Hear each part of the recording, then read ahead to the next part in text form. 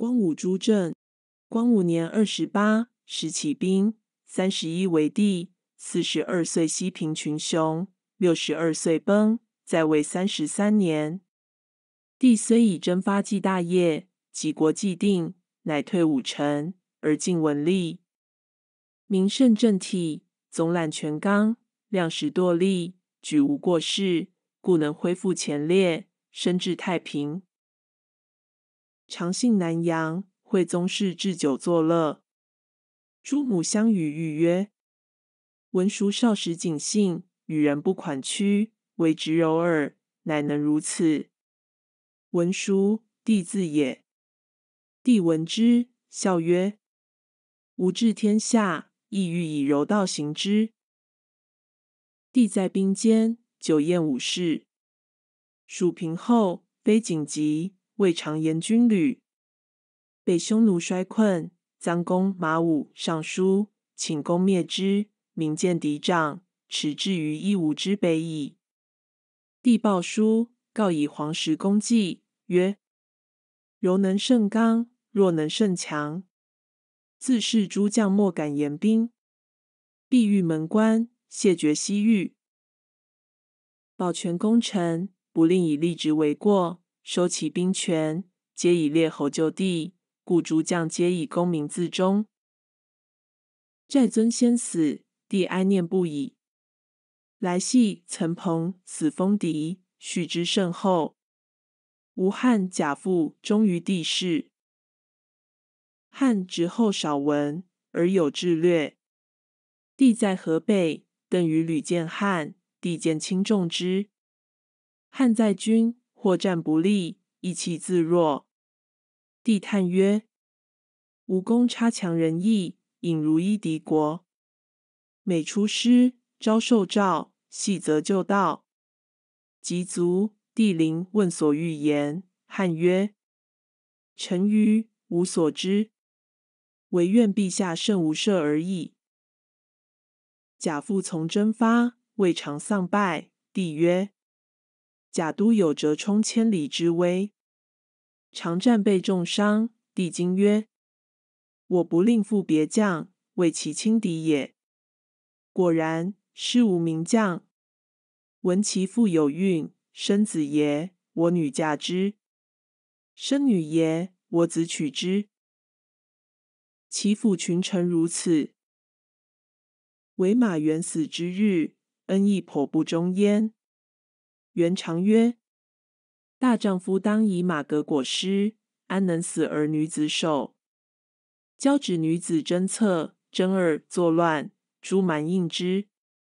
马援以伏波将军讨平之，只同驻于日南，表汉界而还。武陵蛮叛，元又请行，帝悯其老，元披甲上马，具安固系，以示可用。帝笑曰。”绝硕哉，是翁！乃遣之。君至湖头，不利。元众蜀卒，帝续梁松有恨元，构陷之，收新袭侯应寿。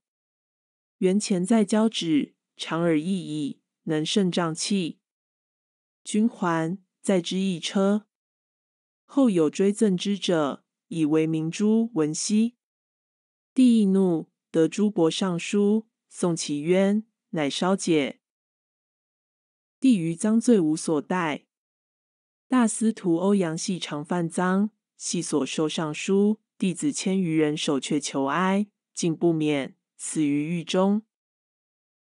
帝所用群臣，如宋弘等，皆重厚正直。帝解胡杨公主长寡居，意在弘。弘入见。主在平后，帝曰：“晏言，父亦交，贵亦妻，人情乎？”弘曰：“贫贱之交不可忘，糟糠之妻不下堂。”帝故主曰：“事不谐矣。主有仓头杀人，逆主家，力不能得。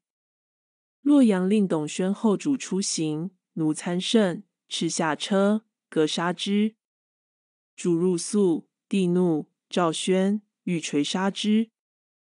宣曰：“纵奴杀人，何以治天下？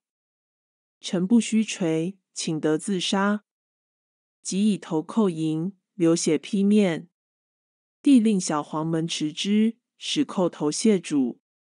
宣两手据地，终不肯俯。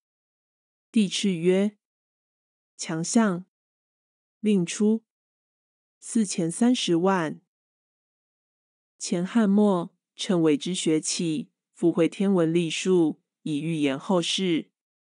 王莽圣上之，时人悉指，真作称文上之，号为福命，以助莽之逆。光武亦获其说，用人行政，多以福命决疑。晚年封泰山，善良阴，亦有感称也。因下诏宣布称书于国中。如陈桓谈长吉言称之非经，帝大怒，以为非圣无法，至欲斩之。自是称书大众于世，与儒书相为经纬。名儒如马融、郑玄，皆采其说。王莽时，明德之士多隐遁，不识其路。光武出力，访求其如卓茂，卓为太傅，封包德侯。又征处士周党严光，党入见，伏而不业。博士奏抵之。帝曰：自古明王圣主，必有不兵之事。四伯罢之。光常与帝同学，帝物色得之，累真乃至。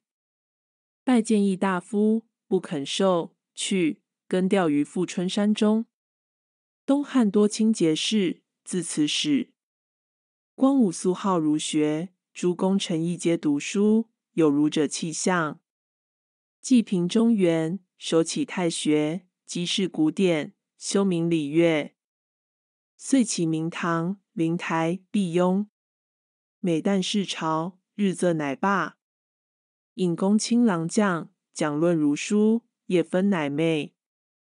太子庄臣见谏曰：“陛下有与汤之名，而失黄老养性之道。”帝曰：“我自乐此，不为皮也。”